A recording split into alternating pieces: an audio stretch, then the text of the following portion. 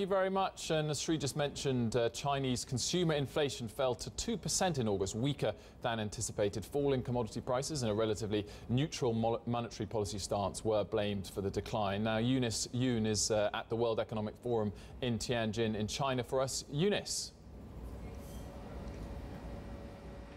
Hey, Wilfred. Well, um, just talking more about those consumer price numbers, uh, what we're seeing is uh, quite a bit of slack in the housing market, and that's filtering in to consumer prices. Also, there was a lot of discussion about how excess capacity is still weighing on industry here, and that filtered through to producer prices. Now, all of that is just more evidence to the weakness in, in the Chinese economy, and one of the reasons why uh, we've been hearing a lot today about how Chinese, uh, the Chinese Chinese slowdown really poses a risk to the global economy. Now, uh, we also heard from the Chinese premier, uh, Li Keqiang, who spent some time at the World Economic Forum here and to really try to reassure some of the business leaders at this very high profile event. Uh, he uh, was uh, talking about how the economy is doing just fine, that it's on track uh, to hit its target for the year of around 7.5%. And also, he was talking a lot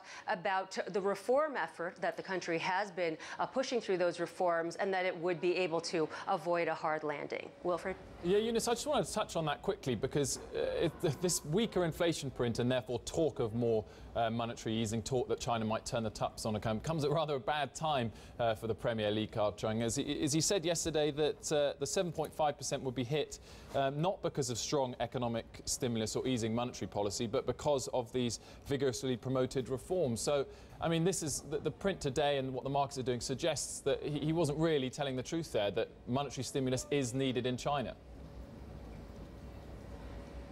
You're exactly correct that there appears to be a disconnect. Uh, but but uh, I think that uh, just picking up on what Sri had, had discussed before, uh, we uh, do not expect to see a big bang when it comes to stimulus. Uh, but what the market has been talking about um, is that we could see some more measured, targeted, targeted plans in order to try to help prop up the economy. But there is a lot of concern that the leadership has been dragging its feet on reform In fact, the EU Chamber of Commerce yesterday issued a report saying that uh, they thought that the reform effort was just too slow and that it was too cautious because it has been about a year since the leadership uh, did announce its uh, major economic reform plans. And, and they've said that a lot of these reforms just haven't been um, meaningful enough uh, to their taste. Brilliant. Eunice, thank you very much. As you say, there's still a very long way to go with China's reform plans. Now, Yannick Naud, portfolio manager at Sturgeon Capital, uh, is still with me. Yannick, in the face of a rising dollar environment, yes. do Chinese equities look unattractive? No, I think the Chinese equity are doing okay. I think within the Chinese equity, you have some pocket of value.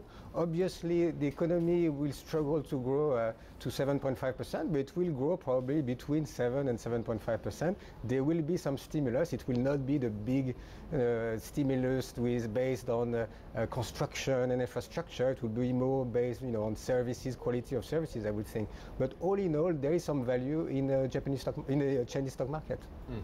And, and as well as that, we also had uh, German inflation number, yes. I think, bringing things back to, to, to Europe, and uh, that inflation print was weaker, was weak as expected. Yes. Do you think uh, Europe is moving into a Japan-like scenario? Well, I mean, inf inflation, CPI, the month-on-month CPI in August for Germany was at 0%, 0.4% in France, but it was negative the previous months. We had yesterday Portugal and Greece uh, with slightly better or inline result, it was negative result. All in all, we are not yet in a deflation in Europe. But we, I mean, we could very well be in a deflation if we have one negative news. There is the impact, obviously, of uh, sanction against Russia, food inflation, uh, food deflation because of uh, the ban of uh, uh, food on food and, and fruit and vegetable, for example. But all in all, there is no price. Uh, there is no, you know, there's a price war in every supermarket. We will see it in UK, for example. There is no sign of inflation, and there is no sign of wage inflation as well. Brilliant. And we'll talk more about that price war in supermarkets with Yannick shortly. Um, coming up on today's show, could